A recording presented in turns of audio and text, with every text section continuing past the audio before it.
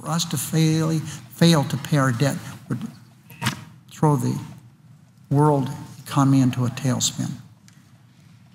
Even if the Speaker could get his legislation to the House of Representatives, I can assure everyone, Madam President, that it wouldn't pass the Senate.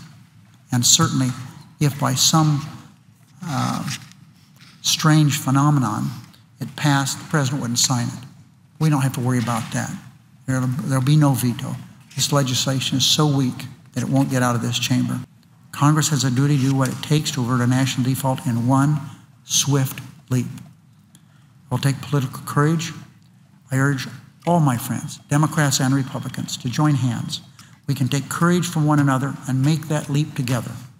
Because if we don't clear this chasm, our nation's economy will go over the edge with us.